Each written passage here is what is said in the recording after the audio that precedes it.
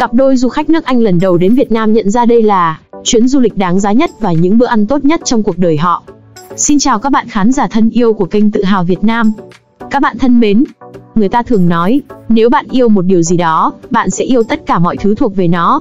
Không biết câu này có đúng với các bạn không, nhưng với cặp đôi đến từ Anh Quốc trong câu chuyện mà mình sắp kể sau đây, thì đúng 100% đó các bạn ạ.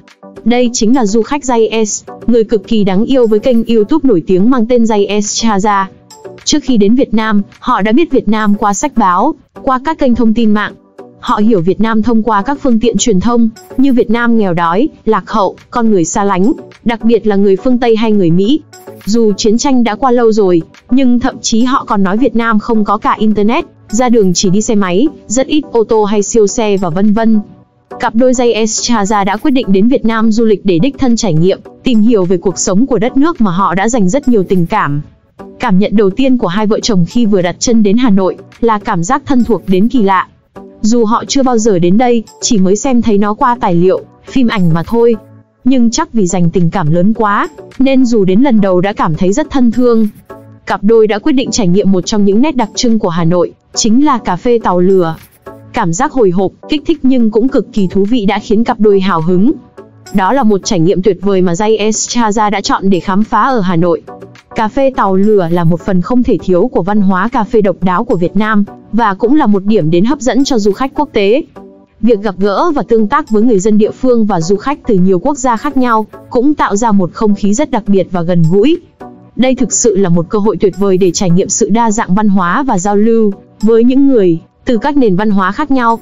Jay Estraza và đối tác của mình chắc chắn sẽ mang theo những kỷ niệm đáng nhớ từ cuộc phiêu lưu này. Cặp đôi Jay Estraza đã có một trải nghiệm thú vị khác khi thưởng thức cà phê đường phố ở Hà Nội. Tìm kiếm một chỗ ngồi có thể đôi khi là một thử thách tại các quán cà phê đông đúc như vậy. Tuy nhiên, việc cuối cùng tìm được một chỗ ngồi có lẽ đã tạo ra một trải nghiệm thú vị hơn cho họ. Cà phê đường phố ở Hà Nội thường mang hương vị thơm ngon và có giá cả phải chăng, là một phần không thể thiếu của văn hóa đô thị, và là điểm đến phổ biến cho cả người dân địa phương và du khách.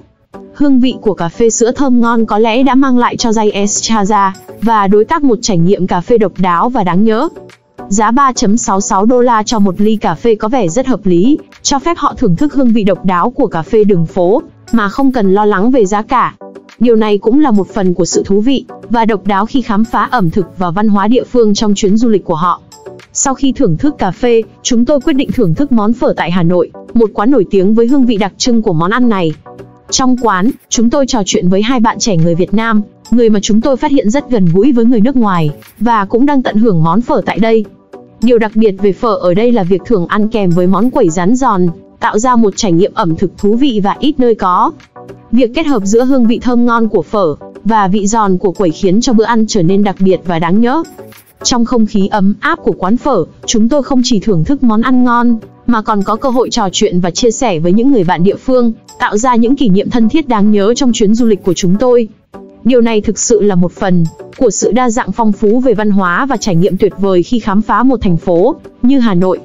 Jay Estraza lại càng có cơ hội tiếp xúc gần với cuộc sống của người dân và có cơ hội thấu hiểu hơn về đời sống thường nhật của những con người Việt Nam, thật thà, chất phác và đúng như những gì họ đã nghĩ từ trước. Họ nhận thấy rằng người Việt thật thân thiện, chân thành và nhiệt tình vô cùng. Trong những cuộc trò chuyện với người dân địa phương, Jay Estraza đã cảm nhận được sự ấm áp và sự chân thành trong cách họ chia sẻ về cuộc sống hàng ngày, văn hóa và tâm hồn của họ. Những góc phố đầy sắc màu và những nụ cười chân thành đã khiến họ cảm thấy như đang được chào đón và thấu hiểu sâu hơn về đất nước và con người Việt Nam. Những trải nghiệm này không chỉ làm giàu thêm cho cuộc hành trình của họ, mà còn mở ra cánh cửa cho những kỷ niệm và hiểu biết sâu sắc về một văn hóa độc đáo và đầy sức sống. Điều này chắc chắn sẽ là một phần không thể quên trong hành trình khám phá của Jay Estraza. Cặp đôi tiếp tục đi dạo vòng quanh. Họ vào một vài cửa hàng để hỏi thăm, và có khi không mua gì nhưng tất cả người bán đều chào đón, và tạm biệt họ với một thái độ hết sức niềm nở. Họ hẹn gặp lại và nhớ quay lại vào một dịp khác. Chỉ với điều đó, cặp đôi đã cảm thấy cực kỳ ấm lòng và khẳng định chuyến đi đến Việt Nam lần này là quyết định đáng giá và chính xác nhất trong cuộc đời họ. Đến phần mà bất cứ người dân nào cũng mong muốn khi xem một vlog du lịch, đó chính là hành trình trải nghiệm ẩm thực. Nhắc đến Hà Nội, có lẽ bạn nghĩ ngay đến những đặc sản như phở, bún đậu, bún chả, bún ốc và 77-49 món ăn khác nhau, đúng không ạ? Lần này, trải nghiệm tiếp theo chúng tôi chọn và giới thiệu cùng các bạn là uống bia đường phố cùng món nhậu rất tuyệt vời. Những món ăn xuất hiện trên bàn ăn của JS không phải cao lương, mỹ vị gì cả. Chỉ là những món ăn gia đình hết sức bình dị, như đậu cùng gia vị, món lem rán, món bánh đa lem cuộn. Vậy, họ vẫn ăn hết sức ngon lành. Thậm chí còn khẳng định bữa ăn này gồm những món ăn ngon nhất mà họ từng được ăn ở nước Anh. Nếu cùng nhau ăn thì mọi người sẽ ăn phần riêng của mình, chỉ là ngồi cùng nhau mà thôi. Họ không có cảm giác gắn kết như khi ăn tại Việt Nam, các món rất nhiều và tất cả cùng ăn những món đó. Điều này khiến đôi bạn vô cùng cảm động. Cũng trong chuyến đi này, cặp đôi đã kết hợp khám phá những nơi sôi động, xen kẽ với các điểm đến yên bình của Việt Nam. Họ muốn trải nghiệm Việt Nam trên nhiều khía cạnh nhất có thể. Trải nghiệm tiếp theo đưa chúng tôi đến việc thưởng thức món mía nướng trên đường phố. Hương vị ngọt ngào của mía, cùng với mùi thơm quyến rũ khi nướng lên, tạo nên một trải nghiệm tuyệt vời. Mỗi miếng mía nướng mang đến sự ngon miệng và hấp dẫn, làm cho buổi dạo chơi trở nên thêm phần đặc sắc. Thêm vào đó, việc thưởng thức ngô nướng, với hạt ngô to tròn và thơm ngon, được nướng bằng thạch củi, càng làm phong phú thêm trải nghiệm.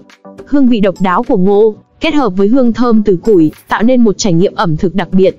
Ăn ngô nướng cùng mía nướng trên đường phố không chỉ là một bữa ăn ngon, mà còn là một hành trình khám phá hương vị độc đáo của ẩm thực địa phương.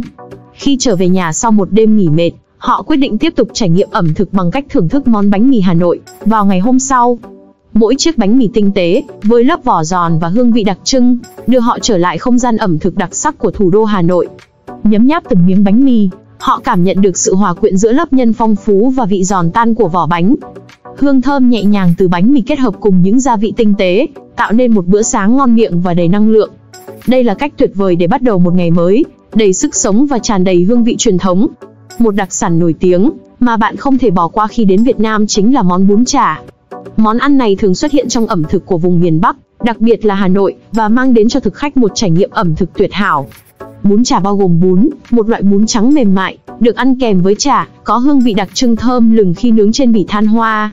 Người ta thường chế biến chả bằng cách chiên giòn, nướng, hoặc luộc, sau đó ướp gia vị để tạo nên hương vị đặc biệt. Món này thường được ăn kèm với rau sống, bún, và nước mắm pha chua ngọt, tạo nên sự kết hợp hài hòa giữa các thành phần. Bún chả không chỉ là một món ăn ngon miệng, mà còn là một phần không thể thiếu của văn hóa ẩm thực Việt Nam, đặc biệt là trong những bữa ăn truyền thống và các dịp lễ Tết. Đúng vậy, món bún chả thường đi kèm với một loạt rau sống tươi và nước chấm thơm ngon, tạo nên một bữa ăn ngon miệng và phong phú. Các loại rau sống thường có thể bao gồm rau giá, rau sống như xà lách, rau mùi, bún tươi, bánh đa nem và một số loại rau khác tùy theo khẩu vị cá nhân. Nước chấm thường được làm từ nước mắm pha chua ngọt, tỏi, ớt, đường và có thể thêm vào một số thành phần khác như giấm hay nước cốt dừa để làm tăng thêm hương vị và sự độc đáo. Nước chấm giúp làm bổ sung độ mặn và chua cho bữa ăn, tạo nên hương vị đặc trưng và hấp dẫn. Thêm vào đó, thịt băm rán giòn là một phần quan trọng của món bún chả, đưa thêm hương vị thơm ngon và độ ngon miệng. Sự kết hợp hài hòa giữa các thành phần này tạo nên một trải nghiệm ẩm thực phong phú và đậm đà, đặc trưng cho ẩm thực Việt Nam. Sau khi chia sẻ trải nghiệm của chúng tôi về ẩm thực đường phố Hà Nội lên mạng xã hội, chúng tôi đã nhận được rất nhiều bình luận tích cực và phản hồi từ cộng đồng mạng. Nhiều người đã chia sẻ những kỷ niệm và trải nghiệm của riêng họ khi thưởng thức ẩm thực đặc trưng của Hà Nội, đồng thời cũng có những người khác quan tâm và muốn khám phá thêm về các món ăn truyền thống của thành phố này. Bình luận từ cộng đồng mạng thường tập trung vào việc khen ngợi hương vị độc đáo và đậm đà của các món ăn đường phố Hà Nội, cũng như việc gợi nhớ kỷ niệm và cảm xúc khi thưởng thức các món ăn này trong quá khứ. Có những bình luận còn đề cập đến sự đa dạng và phong phú của ẩm thực đường phố Hà Nội, từ những món ăn đơn giản đến những món ăn truyền thống phức tạp, tạo nên một không gian ẩm thực đặc biệt và đa dạng. Chúng ta cùng xem họ nói gì nhé. Cảm ơn bạn đã đến Việt Nam. Chúng tôi luôn chào đón bạn. Việt Nam có 63 tỉnh thành, có nhiều đặc sản của các tỉnh, giá cũng rẻ, có nhiều loại bánh mì, bánh tráng cuốn cũng rất ngon, cơm chiên. Này anh bạn, điều đó thật tuyệt vời. Tôi vui mừng vì bạn thích đất nước của chúng tôi. Tôi là người Canada gốc Việt. Đang tự hỏi liệu bạn có xuống uống nước không? Tôi muốn gặp bạn. Video của bạn thật tuyệt vời. Tôi luôn viết ra danh sách những món tôi muốn ăn mỗi khi đến Việt Nam. Cảm ơn bạn đã chia sẻ. Tôi chưa từng đến Hà Nội và rất muốn đến đó vào lần tới. Chúng tôi đã đến Hà Nội năm 2022 rất tuyệt vời. Gia đình tôi dự định năm 2024 này sẽ đến thăm Hà Nội một lần nữa, sẽ đến phố cổ thưởng thức các món ăn như phở, bún bò, bánh mì. Tôi đã đến Việt Nam tháng trước. Mỗi ngày ở Việt Nam với tôi là một bữa tiệc, bên trái là những cửa tiệm bán sườn nướng, kế đến là hàng bánh mì, xôi, bánh xeo, chỉ cần bước chân ra đường là đầy rẫy những món ăn ngon. Hà Nội đúng là thiên đường của các món ăn ngon. Nếu có dịp, bạn có thể thử những món bánh dân dã của Hà Nội như bánh giò, bánh trắng nướng, xôi khúc hay tàu phớ nhé. Chắc chắn bạn sẽ rất thích. Bạn thật biết chọn các món ăn độc đáo của Hà Nội. Đặc biệt món phở Hà Nội chính là món ăn ngon nổi tiếng. Hãy thử nhiều món ăn Việt Nam và thăm nhiều cảnh đẹp Việt Nam trong chuyến đi này. Chúc bạn có chuyến trải nghiệm thật vui. Tôi yêu Việt Nam cũng vì lẽ đó, lần đầu bạn nên thử đến Đà Nẵng xem sao. Ở đây hiện đại, sạch sẽ, yên bình, ít xe cộ và còn được bao quanh bởi vẻ đẹp lộng lẫy của thiên nhiên. Tôi đặc biệt ấn tượng với một số người Việt là lao động bình thường, nhưng khi nói chuyện hay phục vụ du khách họ thật sự cởi mở và thân thiện, cách họ sử dụng cử chỉ, lời nói lịch sự khi phục vụ khiến những du khách như chúng tôi ấm lòng. Chỉ điểm qua một số bình luận của cộng đồng mạng, cũng thấy đa số họ có phản hồi rất tích cực khi đến thăm và trải nghiệm tại Việt Nam.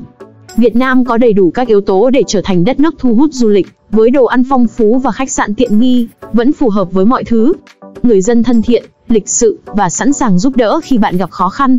Tôi đã đến Hà Nội 4 lần trong 2 năm qua vì yêu thích sự độc đáo của nơi này. Tôi ấn tượng với Hà Nội bởi sự độc đáo và giá cả phải chăng.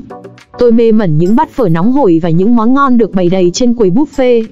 Mọi người nhất định phải thử bánh mì khi đến Việt Nam và nhớ khám phá vẻ đẹp của đất nước. Tôi nghĩ bạn nên dành vài tuần, thậm chí vài tháng, vì vài ngày là không đủ để bạn ngắm nhìn đất nước xinh đẹp này. Ở Việt Nam, có rất nhiều món ăn đặc sản mà mọi người nên thử như phở, bún đậu, chả, giò, gỏi cuốn. Nhưng có một thứ còn tuyệt vời hơn cả, đó là bữa ăn gia đình trong ngày của người Việt Nam. Đó không chỉ là một bữa ăn bình thường mà quan trọng là không khí ấm cúng, mà bữa cơm mang lại. Việt Nam thu hút theo cách riêng của mình với những nét độc đáo về văn hóa, lịch sử và ẩm thực. Với người yêu thích ẩm thực như tôi, việc đến Việt Nam thực sự là một chuyến hành trình đến thiên đường ẩm thực. Điều mà tôi đặc biệt thích khi đến Việt Nam là gặp gỡ con người nơi đây, họ mang lại những nụ cười rạng rỡ và sự hào sảng, cởi mở, thân thiện và tốt bụng mà không phải ở mọi nơi đều có được. Nếu bạn có lòng kiên nhẫn và sẵn lòng khám phá những dịch vụ ẩm thực giá mềm như người dân địa phương, bạn có thể dễ dàng du lịch với chi phí dưới 20 đô la Mỹ mỗi ngày. Một số blogger chỉ muốn đến những nơi sang trọng, nhưng không phải ai cũng có khả năng trải nghiệm như họ. Những chia sẻ trong video của bạn rất gần gũi với chúng tôi, khiến tôi cảm thấy như mình đang cùng trải qua những trải nghiệm tuyệt vời như vậy. Qua chuyến đi của cặp đôi dây Estraza, bạn cũng có thể nhận ra rằng, đôi khi, Việt Nam không cần phải quá hào nhoáng để thu hút du khách. Những vị khách nước ngoài lại tìm thấy vẻ đẹp và trải nghiệm thú vị từ những điều chất phác, mộc mạc khi du lịch Việt Nam. Điều này tồn tại ở những nơi mà người dân Việt Nam thường coi là bình thường, nhưng bên trong đó lại chứa đựng tất cả những đặc sắc của Việt Nam. Không có gì ngạc nhiên khi bạn đến các vùng xa xôi, hẻo lánh mà bạn bắt gặp những vị khách quốc tế đang trèo đèo lội suối, vì đơn giản là sở thích của họ. Họ yêu Việt Nam vì những điều đơn giản, bình dị, vì chính bản chất của Việt Nam là như thế, và đó cũng là điều khiến du khách yêu mến Việt Nam nhiều đến vậy. Những người dân chất phác, thân thiện của Việt Nam không biết từ bao giờ đã trở thành điều níu chân du khách. Dù du khách đến thăm thành phố lớn hay miền quê xa xôi, họ đều có thể cảm nhận được sự chân thành, tốt bụng và nhiệt tình của mỗi người Việt Nam. Những nét tính cách này đã ăn sâu vào từng con người Việt Nam, bất kể bạn đến đâu thì đều có thể gặp được những người Việt Nam chân thành như vậy và những chia sẻ vừa rồi cũng chính là nội dung của video ngày hôm nay mà chúng mình muốn chia sẻ cùng các bạn. Việt Nam rất đẹp và nhiều điều độc đáo. Tôi muốn các bạn hãy trải nghiệm thực tế chứ không chỉ trên những thông tin mạng. Nếu đã đến Việt Nam, bạn sẽ thấy video là hoàn toàn chân thực. Nếu có điều gì muốn xem, muốn nghe thì bình luận cho chúng mình biết nhé. Chúng mình luôn lắng nghe và chia sẻ cùng các bạn. Hãy nhấn like, bật chuông theo dõi đăng ký kênh để nhận được những video mới nhất của kênh. Còn bây giờ, xin chào và hẹn gặp lại các bạn trong những video tiếp theo.